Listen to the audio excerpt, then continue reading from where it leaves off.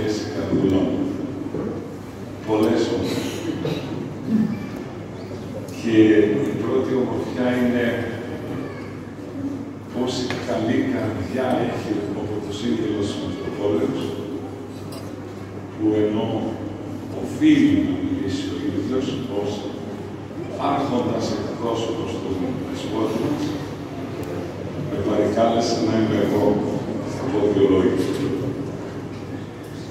Το δεύτερο, πόσο όμορφους και ωραίους ιερείς γνώρισα απόψε που είμαστε μαζί.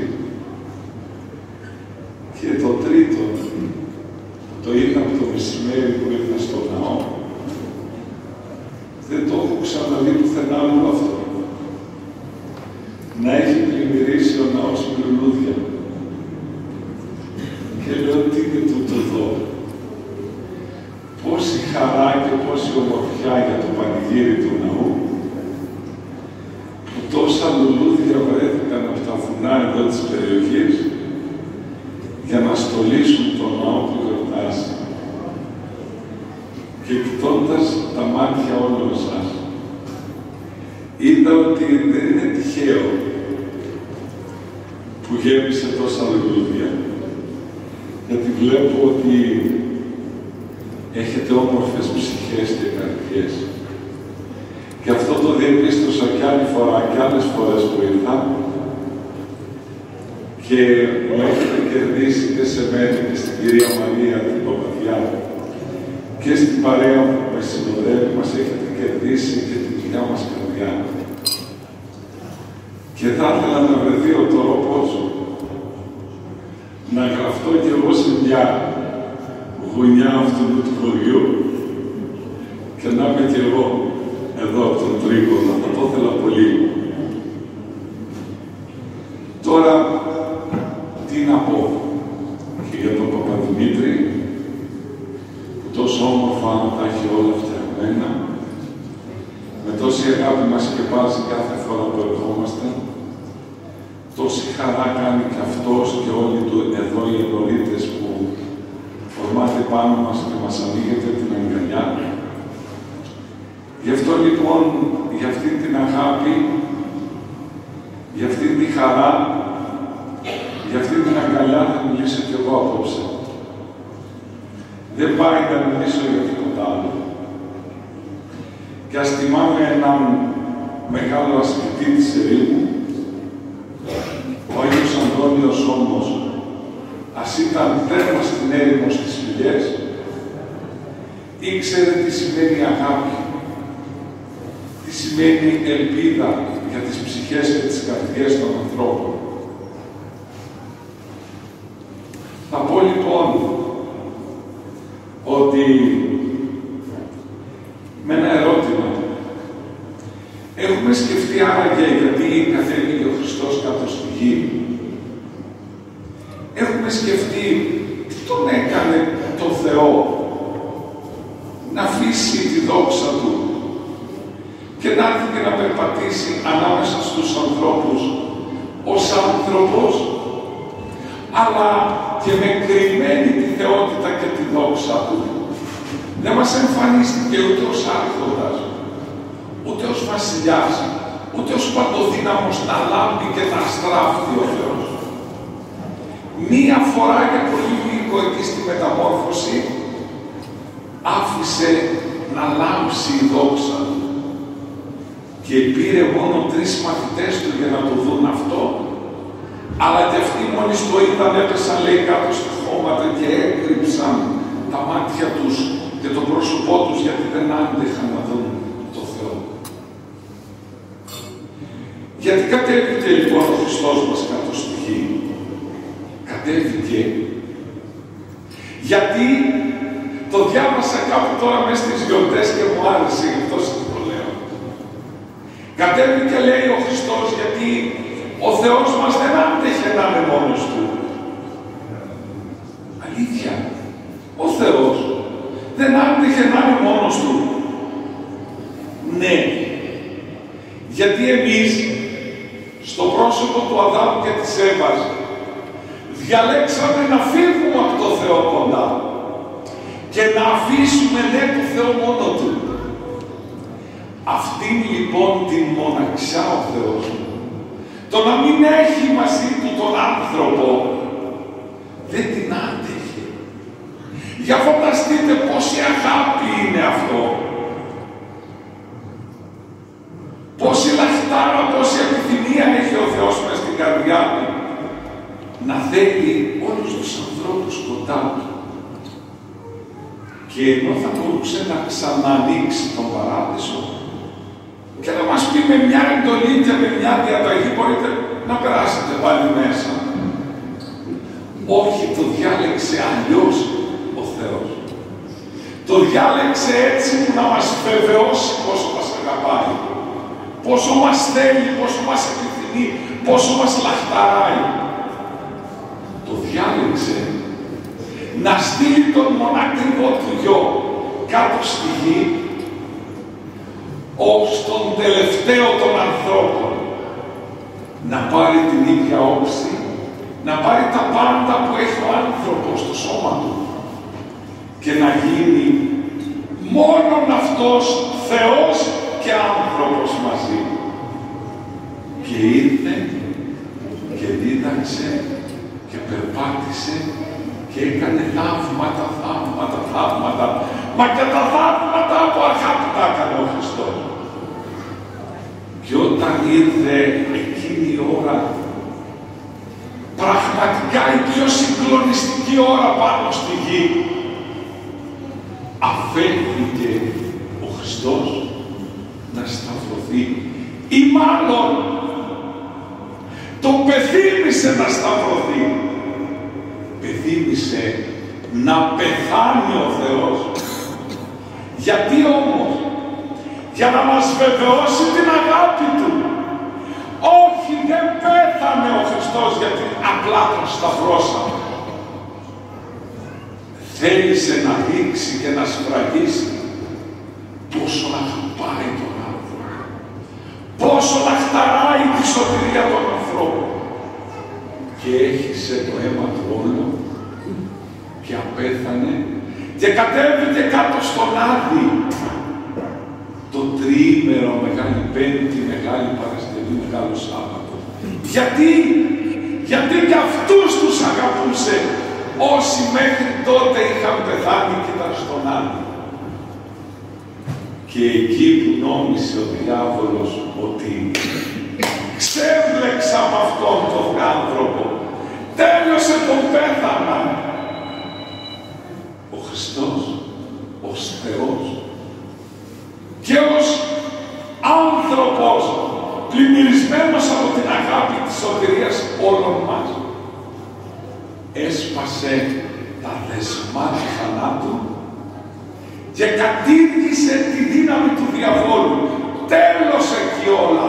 Και ο θάνατος, γιατί τέλος ο θάνατος; Μα το φωνάζουμε δυνατά το Πάσχα στην Ανάσταση. Χριστός ανέστη εκ νεκρών. Θανάτο, θάνατον πατήσα. Και της εν της μνήμαση ζωή χαρισάμενος. Και ήρθε ξανά ο Χριστός Αναστημένος για να μας δώσει την αιώνια ελπίδα ότι κανένας πλέον αν το θέλει δεν, δεν χρειάζεται να φτάσει εκεί που είναι ο θάνατος, το τέλος και τα βάσανα του άνδου και του διαβόλου. Και από εκεί, από εκεί, από αυτήν δηλαδή την Ανάσταση, γεμίσαμε ελπίδα, όπως λέει ο Παύλος, να μην υπάρχετε, λέει, όπως οι υπόλοιποι, ποιοι, αυτοί που δεν πίστευαν και δεν πίστεψαν στον Χριστό, αυτοί που δεν έχουν την ελπίδα και ψάχνοντας τώρα τα βιβλία θα βρει κανένα στη ζωή όλων των Αγίων. Πόση ελπίδα δίνουν οι Άγιοι με τη διδασκαλία τους, με τη ζωή τους, με το παράδειγμά τους. Ότι μπορούμε όλοι να βρεθούμε εκεί μαζί με τον Χριστό στη Βασιλεία των Ουρανών. Πήγαινε λέει στον Άγιο Αντώνιο ένα καλοκαίρι. Και του λέει, νεαρό καλοκαίρι. Του λέει γέροντά, έπεσα σε αμαρτία. Τον είδε ο γέροντας πόσο φοβισμένος ήταν. Τι αμαρτία, παιδί μου. Σαν αρχικά γέροντα. Δεν λέει περισσότερα εκεί τι ήταν. Σήκω, παιδί μου, του λέει ο γέροντας. Σήκω και πάμε πάλι τον αγώνα. Χάρηκε το καλοκαίρι. Ξανά όμως μετά από λίγες μέρες πάλι ξανά πάει στο γέροντα. Του λέει ξανά πέσα γέροντα. Πιο φοβισμένο τώρα το καλοκαίρι ο μαγός που είναι η δεύτερη φορά. Ο γέροντας πάλι τον αγκάλιασε. Σήκω παιδί μου. Ξαναχάρηκε το καλοκαίρι. Αχ, λέει, έχω ελπίδα. Ναι, αλλά ξανά, ξανά και ξανά. Τη δέκατη φορά όμως, για προσέξτε λίγο, τη δέκατη φορά, ξαναπάει και του λέει, ξανά πέσα χειροτάσε μου, φεύγω. Δεν έχω ελπίδα εγώ. Και τότε τι του λέει, ο Άγιος μας αυτός που τον έχουμε εδώ μπροστά του στο χωριό. Ο Άγιος μας. Τι μεγάλη αμαρτία έκανες τώρα, παιδί μου. Το καλοκαίρι όμως την αγαθοσύνη του του λέει, Γέροντα, την ίδια αμαρτία έκανα, δεν έκανα άλλη. Όχι αυτή, παιδί μου, τότε πια γέροντα. Την απελπισία, παιδί μου. Για προσέξτε μου. Δεν υπάρχει αμαρτία μπροστά στην αγάπη του Χριστού, η οποία δεν συγχωρείται. Μην ακούτε, το λέω και ως πνευματικός εξομολόγος αυτό. Μην ακούτε την τέχνη του διαβόλου. Κάτι κάνουμε, κάτι πέφτουμε, κάτι αμαρτάνουμε και αρχίζει μετά. Μην πας, μην πας, μην πας, τέλειωσες εσύ. Δεν έχεις ελπίδα. Τι λέτε μωρέ; Και ο Χριστός που είπε θέλει πάντας ανθρώπους σωθήνε. Ο Χριστός μας από τα τότε μέχρι τα τώρα και μέχρι το τέλος της γης και της ανθρωπότητας και των ανθρώπων θα θέλει, θα θέλει, θα θέλει, θα θέλει όλοι να είμαστε κοντά του. Να η εξομολόγηση, να λίγη προσευχή, να ένα δάκρυ, λίγη ταπείνωση, λίγη υπομονή και είμαστε εκεί ένα βήμα πριν να μπούμε μέσα στο παράδεισο στη Βασιλεία των Ουρανών. Τελειώνω. Για να μην μας αφήσει όμως μόνους μας ο Χριστός εδώ κάτω στη γη, τι έκανε; Ήρθε, μας τα φτιάξε όλα μες στην Εκκλησία του, με τα μυστήρια, με τις ακολουθίες, με τη διακοινωνία, με την εξομολόγηση, με την διδασκαλία, με τα Ευαγγέλια, όλα. Αλλά πάλι για να μην μας αφήσει μόνοι μας να παλεύουμε, τι έκανε; Πήρε αγιασμένες ψυχές και τους έφτιαξε παραδείγματα, τους Αγίους μας. Και είδατε, έχουμε παλιούς Αγίους, από τους προφήτες, από τους αγγέλους, από τους αρχαγγέλους, από τους Αποστόλους, από τους μάρτυρες, από τους Αγίους, αλλά μας έβαλε και καινούριους Αγίους. Βλέπετε στις μέρες μας τι χαμός γίνεται με τους καινούριους Αγίους. Να και ο Άγιος αυτός εγγράφει και λέει στο Αγιολόγιο και ο άλλος και ο άλλος, Παΐσιος, Πορφύριος. Γεράσιμος ο Μικραγιαννίτης προχτές, ο Ιερεμίας ο, ο Πατριάρχης Κωνσταντινούπολεως, να και ο αγιερωευμένος ο Σαριδάκης, να και τούτο, να και εκείνο, αλλά ξέρετε κάτι, έχει κι άλλους στον ουρανό πολλούς Αγίους, που σήμερα, αύριο, μεθαύριο, αντιμεθαύριο, σε πέντε, σε δέκα, σε είκοσι χρόνια, πόσα χρόνια χρειάστηκε να μας εμφανίσει τον Άγιο, τον Άγιο Ραφαήλ η Εκκλησία, ο Θεός, τα γεγονότα. Έτσι θα γίνεται με τους Αγίους. Γιατί τους έχουμε τους Αγίους, προστάτες και βοηθούς. Έλεγε ο Γεροπαΐσιος, παιδιά μου, να κάνετε φίλο έναν Άγιο. Γέροντα, πώς κάνουμε φίλο έναν Άγιο, να βρε παιδάκι μου, θα διαβάσεις κάθε μέρα της, το, τη ζωή των Αγίων που έχει και ξέρετε κάθε μέρα 5, 10, 20, 50, πολλές φορές και 100 και 150 Αγίων. Και μόλις τελειώνεις να διαβάσεις τη ζωή του θα λες θέλεις να γίνει μάχη, ε φίλοι, θέλεις να γίνουμε φίλοι. Και θα γίνεται κάποιος Άγιος φίλος σας. Και εσείς εδώ, ποιος ξέρει που έχουμε και τις ευλογίες παράξενων Αγίων.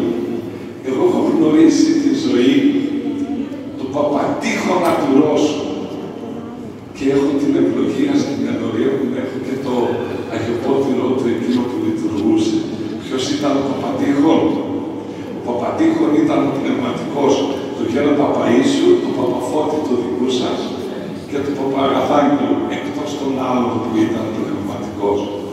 Ποιος ξέρει λοιπόν στον ουρανό τι γίνεται. Εγώ νιώθω τις ευλογίες όλων αυτών των Αγίων πολλές φορές στη ζωή μου. Φωνάξτε λοιπόν κάποιον Άγιο και κάντε τον φίλο σας. Και εδώ έχετε πολλούς να φωνάξετε, γιατί έχετε και πολλά παρεκκλήσια. Να είστε καλά λοιπόν, χρόνια πολλά. Οι Άγιοι να είναι κοντά σας. Και ο Παπαδημήτρης να είναι κοντά σας και να μας το προσέχετε, γιατί τον αγαπάμε κι εμείς πολύ. Και τον θέλουμε